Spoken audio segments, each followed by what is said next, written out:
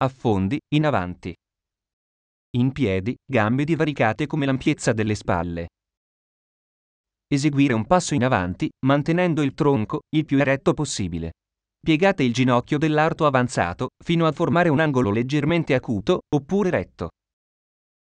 Facendo forza sulla gamba davanti, ritornate in posizione di partenza.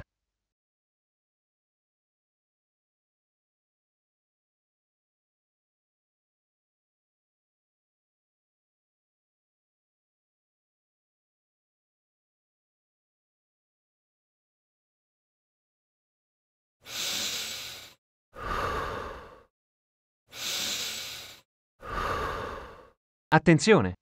L'ampiezza del passo in avanti varia la distribuzione del carico di lavoro sui gruppi muscolari.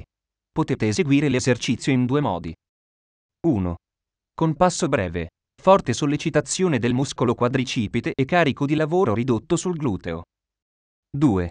Con passo lungo. Forte sollecitazione del muscolo grande gluteo e dei muscoli ischio-crurali, con conseguente allungamento del retto femorale dell'arto arretrato. Errori comuni. 1.